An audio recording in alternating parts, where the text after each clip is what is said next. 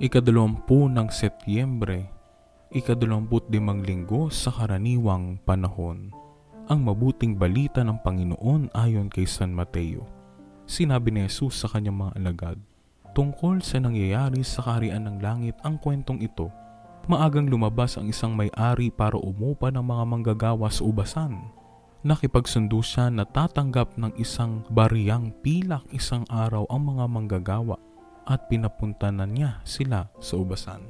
Lumabas din siya ng mag-iikasyam ng umaga at nakita niya ang iba pang mga nakatayo sa plaza na walang ginagawa.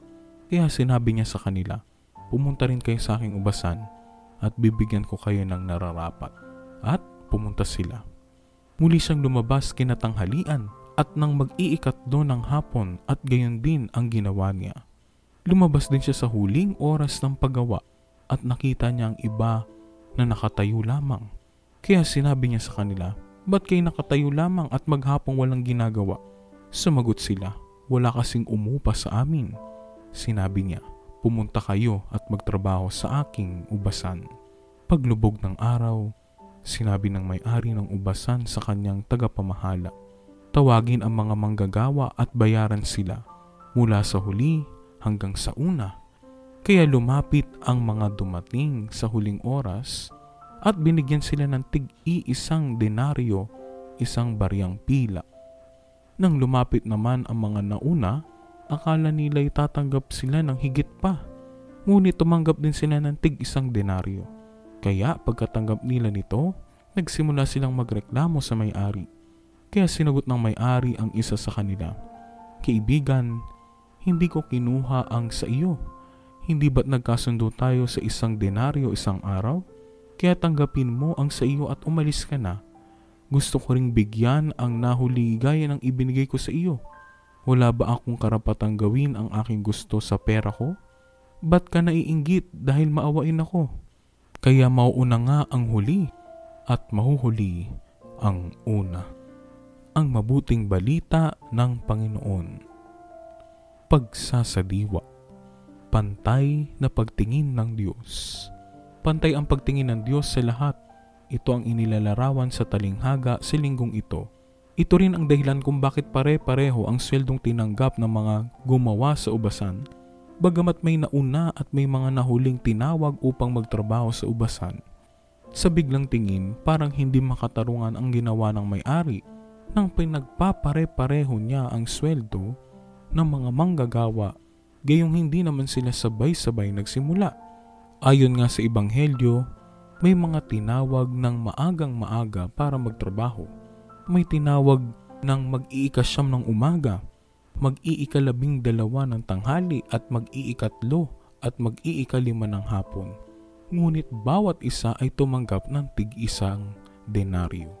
Sa makatao at karaniwang pananaw, maaring isipin na dapat lamang na tumanggap ng mas malaki ang mga mas naunang nagtrabaho sinasabi sa talinghaga na walang nilabag ang may-ari ng ubasan sa usapin ng tamang pagpapasweldo sa mga manggagawa.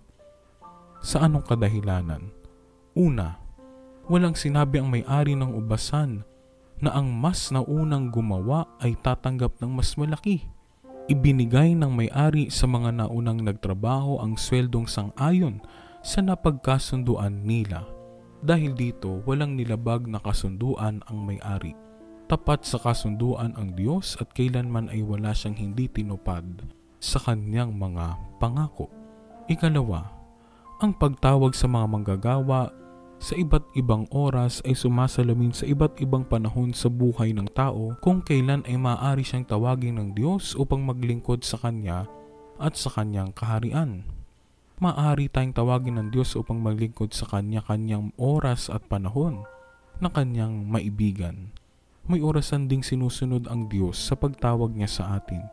Ito marahil ang dahilan kung bakit may mga tao na bata pa ay tinatawag na para maglingkod sa Diyos. Mayroon din naman kung kailan maganda na ang trabaho at kumikita na ng malaki, ay tinatawag ng Diyos sa bukasyon ng paglilingkod. Mayroon din naman na sa panahon ng kanilang pagtanda ay saka pa lamang nakadama ng tawag sa paglilingkod. Katlo, mabuti ang Diyos sa lahat kung kaya't pantay-pantay ang kanyang pagtingin sa atin. Walang karapatan ang sino man sa atin para sabihing siya ang mas naunang naglingkod sa Diyos. Kaya may karapatan siyang tumanggap ng mas maraming biyaya mula sa Diyos. Hindi ito ang pamantayan na sinusunod ng Diyos. Malaya niyang maipadarama ang kanyang pag-ibig sa lahat na walang pinipili, mabuti man o makasalanan.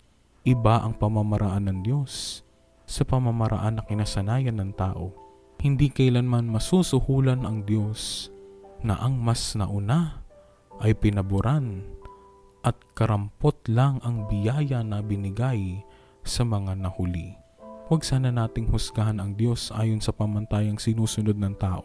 Mabuti ang Diyos at mapagbigay sa lahat. Pantay ang kanyang pagtingin sa lahat. Kung kaya't ang mga nauuna ay nahuhuli, ay kapwa niya binibigyan ng walang pinapaboran o binabaliwala likas sa Diyos ang pagiging bukas sa pagbibigay ng kanyang biyaya sa lahat.